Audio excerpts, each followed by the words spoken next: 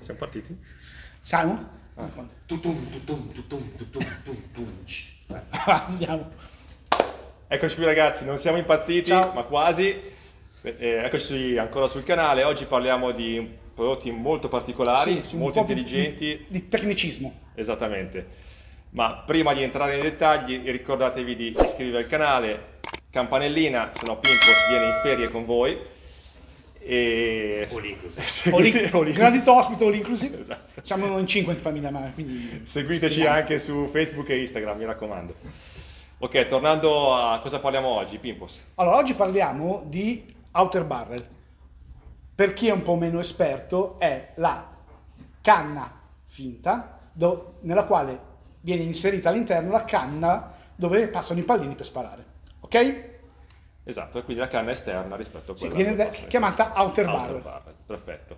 Oggi però parliamo di un prodotto particolare. Assolutamente. Parliamo di un prodotto Grizzly Lab che ha creato queste canne in alluminio molto leggere con la parte finale in Polvere sintetizzata.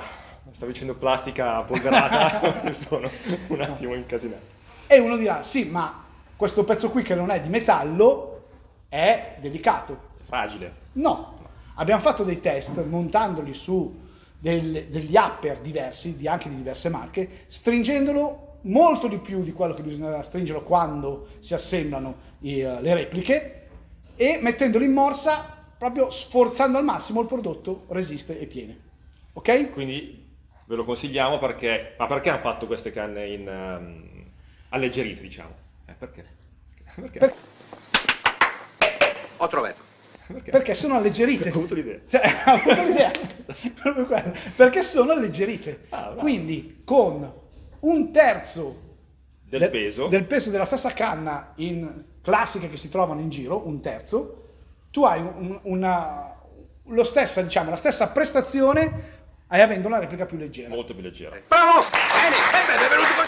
Parliamo in soldoni di eh, dimensioni e di pesi, quindi abbiamo qua i due esempi classici, Classici, abbiamo esatto. una 274, Che per farvi capire MK18, giusto per darvi un'idea di- della lunghezza, diciamo quella standard vi, eh, cos- eh, costa, buonanotte, pesa 168 grammi, esatto, quella di Grizzly Lab 61, quindi siamo poco meno di un terzo. ok? avete risparmiato un netto e 20, che uno dice un netto e 20, no, non è tanto, Un netto 17, un netto e 7, ok, un netto poi ci sgrida.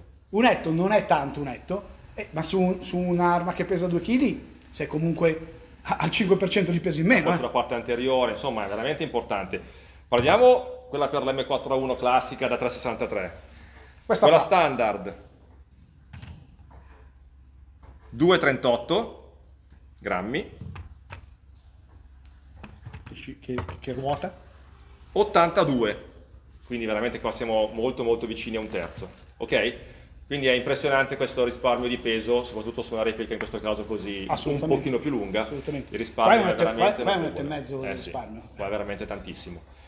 Quindi, oltre alle canne rigate, coniche, lisce di Grizzly Lab che già conoscete, di cui già abbiamo parlato, vi consigliamo assolutamente anche questo prodotto da abbinare a, a un M4 Assolutamente. di varie lunghezze. L'altra cosa molto particolare è che se voi avete bisogno di una canna di una lunghezza particolare, noi ve la facciamo esattamente su misura, allo stesso costo di quella standard che viene fatta con le misure. In più, una cosa che dobbiamo dire è che all'interno, all'interno queste canne hanno dei centratori che servono per evitare che l'inner barrel possa leggermente muoversi e di conseguenza migliorano la precisione di tiro. Fantastico.